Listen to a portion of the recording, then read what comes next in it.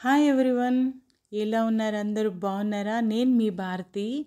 Welcome to my channel మనందరికీ the legendary Ratan Tata గారి గురించి బాగా తెలుసు కదండి. ఆయన గురించి తెలియని భారతీయుడు ఎవరు ఉంటారు?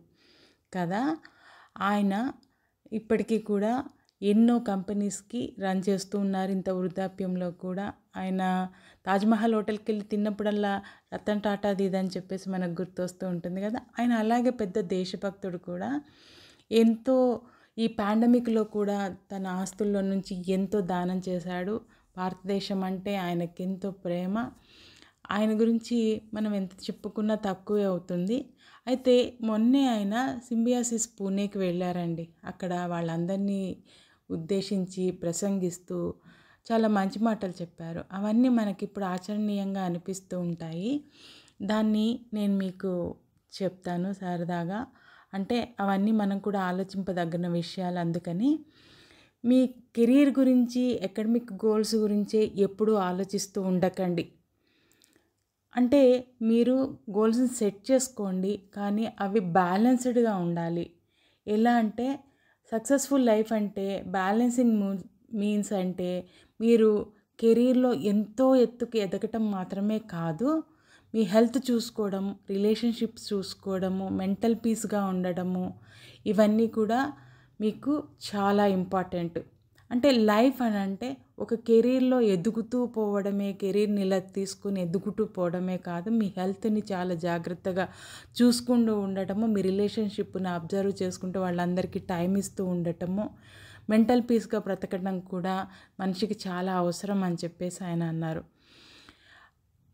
అయితే ప్రమోషన్ కోసం మనము అనుక్షణం తాపత్రయపడుతూ దానికోసమే వర్క్ చేస్తూ మన చుట్టూ ఉన్న రిలేషన్స్ని మనము టైం స్పెండ్ చేయకుండా కానీ వాళ్ళని నెగ్లెక్ట్ చేస్తూ కానీ ఒక బ్రేకప్ చేసుకున్నట్లయితే ఆ ప్రమోషన్కి మనకి మీనింగ్ ఉండదు.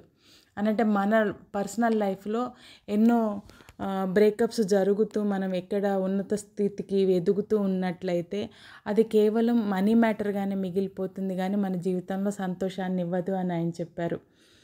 అంటే ఇప్పుడు మనం డ్రైవ్ చేస్తున్నప్పుడు మన బ్యాక్ బాగా హర్ట్ అవుతూ ఉందనుకోండి ఆ డ్రైవింగ్లో మనకి ఎలాంటి ఆనందం ఉంటుంది? అందుకని మీకు బ్యాక్ హర్ట్ అవ్వకుండా చూడాలంటే మీరు గంటలు గంటలు గంటలు గంటలు పని చేస్తూ ఉండడమే కాదు చేయాల్సింది. మళ్ళీ షాపింగ్కి వెళ్ళినప్పుడు మీ మైండ్ అంతా ఫుల్ టెన్షన్స్తో నిండిపోయింది అనుకోండి. షాపింగ్ చేసేటప్పుడు మనం ఏం చేయాలి అని అంటే ఆ షాపింగ్ని మనం ఎంజాయ్ చేయాలి. ఏదైతే కొనుక్కుంటున్నామో ఏదైతే మనకు అవసరమో దాన్ని. అంటే ఎంతో పెద్ద వస్తువుని ఎంత ఎంతో ఖరీదైన వస్తువుని మనం వెనక మన వీపు నొప్పుడుతుంటుంది మైండ్లోనేమో చాలా టెన్షన్స్ పెట్టుకొని రేపొద్దున ఇవి వీళ్ళకి పేమెంట్స్ చేయాలి ఈ నష్టాలు రావచ్చు ఈ లాభాలు రావచ్చు ఇది చేయాలని అలాంటి టెన్షన్స్తో మనం ఎంత పెద్ద వస్తువుని షాపింగ్ చేసినా కూడా దా అది మనకి ఎలాంటి ఆనందాన్ని ఇవ్వదు. మళ్ళీ లైఫ్ని అంత సీరియస్గా తీసుకోవాల్సిన అవసరం లేదు. లైఫ్ అలా మూవ్ అవుతూ ఉంటుంది.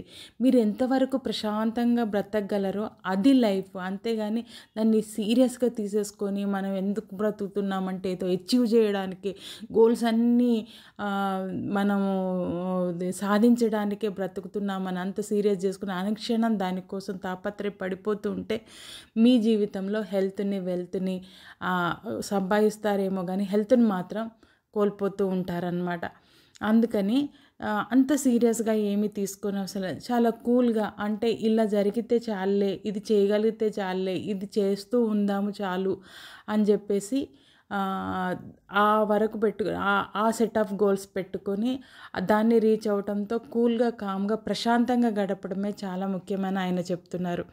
ఏంటంటే ప్రీ మన లైఫ్ అలాంటిది అని అంటే ఒక ప్రీపెయిడ్ కార్డు లాంటిది అనమాట దాని వే వ్యాలిడిటీ ఏంటి అని అంటే మనం ఒక ఫిఫ్టీ ఇయర్స్ ఉండొచ్చు. అంటే మనము ఎంత జాగ్రత్తగా కాపాడుకుంటూ ఉంటుంటే దాని వ్యాలిడిటీ ముందుకు వెళ్తూ ఉంటుంది. అంటే ఆ ఒక ఫిఫ్టీ ఇయర్స్ ఉందనుకోండి అదేంటి ఆ ఫిఫ్టీ ఇయర్స్లో మనకి జస్ట్ మనము మనకు వచ్చే వీకెండ్స్ ఎంత? Two thousand five hundred five hundred weekends మాత్రమే వస్తాయి.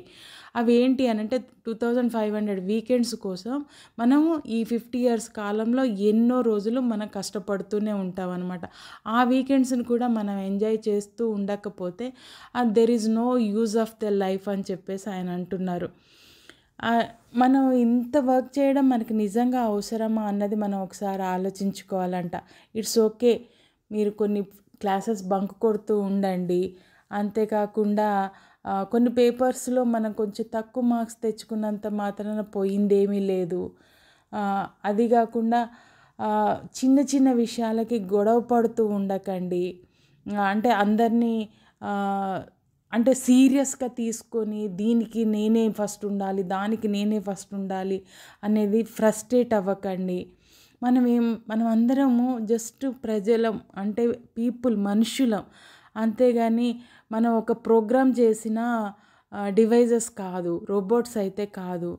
అంత సీరియస్గా ఉండకండి లైఫ్ని జీవితాన్ని జీవితంలాగా గడుపుతూ ఉండండి అని చెప్పేసి ఆయన చెప్పారు.